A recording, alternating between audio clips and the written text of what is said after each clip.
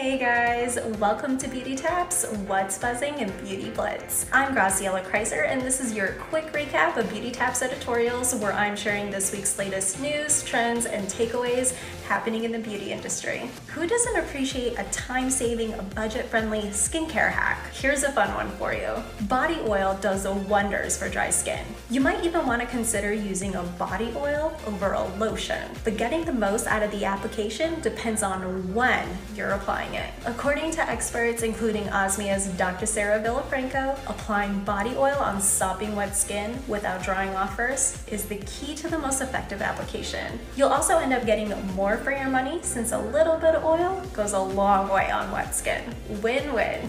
Read more about our favorite skincare hacks by clicking on the editorial section at beautytap.com. And don't miss our product reviews around coveted brands written by a diverse community of professional beauty experts. Till next time.